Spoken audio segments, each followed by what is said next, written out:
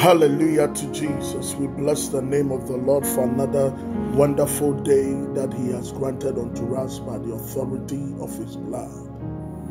This very day, I pray for you. I pray for your entire household. I pray for every weakness in your body. I pray for every pain you are going through. I pray for every rejection, every betrayal.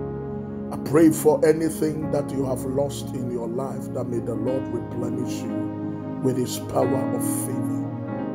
I pray in the name of the Lord Jesus that today let the favor of God speak for you. We come into your presence, Spirit of the living God, according to your word in Psalm 90, verse 17.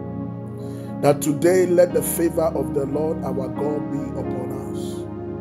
And, O God, establish the work of our hands that is upon us.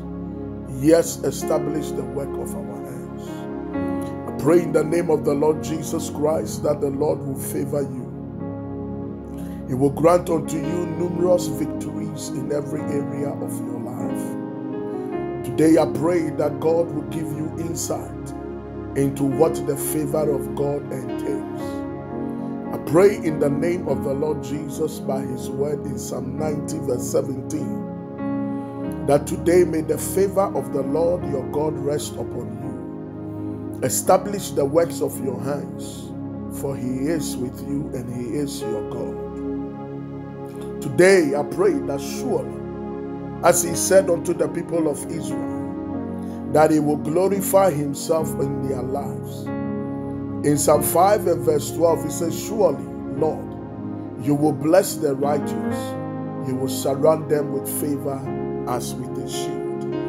Today, may the Lord surround you with favor like a shield. I pray that wherever you go, may the Lord cover you against every evil.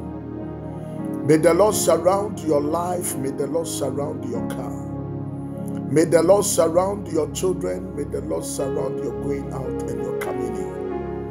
May the Lord surround everything that pertains to you in the name of Jesus.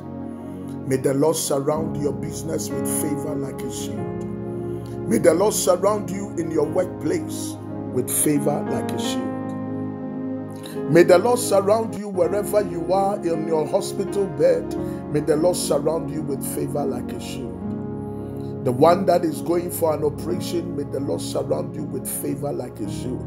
You will come out victoriously because the hand of God will work his enterprise on your body. This morning I pray, according to Psalm 84, verse 11, for the Lord your God is a sun and he is a shield. The Lord will bestow favor and honor upon you that today I pray that good things will come upon your way because you will walk in his path and you will be blameless. Today, whatever the enemy has said concerning your life, you will be blameless. Whatever they have planned concerning your life, you will be blameless. Whatever they have planned, orchestrated against your destiny, you will be blameless. Nothing shall work against you.